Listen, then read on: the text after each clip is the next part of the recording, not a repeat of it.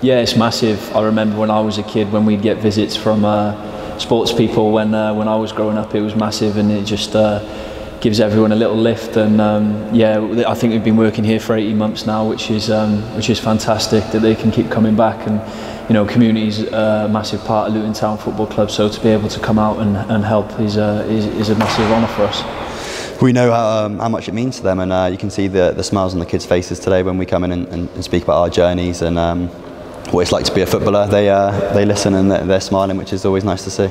It's always great to come out and see a variety of different people and, and speak to them about their lives and sort of things like that. So um, if we can help uh, help them along the way, whether it be to do with football or, or anything else, I know you mentioned uh, fit hatters. If we can help some more people get out of the house and, house and live a healthier lifestyle, if us coming down to there and, and doing a few star jumps or doing whatever exercises we need to do with them can help them come and it, it spurs them and gives them the the motivation to, to improve their healthy lifestyle, then happy days in it. And if they want to become Luton fans, the more the merrier. It's a great community to be a part of, and um, we'd love to see them at a game.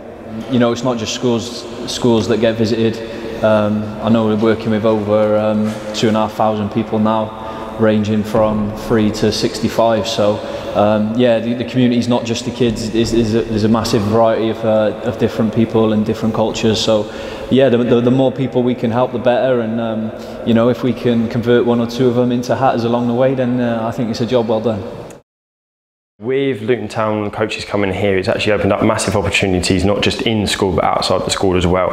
Um, so outside of the school, we've had loads of different competitions. We've had promotional of um, girls football as well, um, and boys football's uh, tournaments that we can do sort of in the Creasey Park area or the local area within Dunstable. A lot of our football teams had the really, really special occasion of being able to go over to Kenilworth Road and playing on their grounds inside a stadium, which for some of them was the first time they've been to a stadium, let alone actually played inside. So it's fantastic for them having the coaches coming into the school as well, it gives more of a range of different variety of sporting contexts that our children can learn in the school. Um, because all the coaches are obviously highly qualified and well experienced, it means that the lesson and the quality provision of physical education in the school is also raised as well. And obviously it helps the school sort of promoting physical education, physical activity. Um, both the boys have been in Luton Town for a while as well and it sort of shows and encourages the children in our school that if you are determined, if you work hard and you have a passion for something, don't give it up.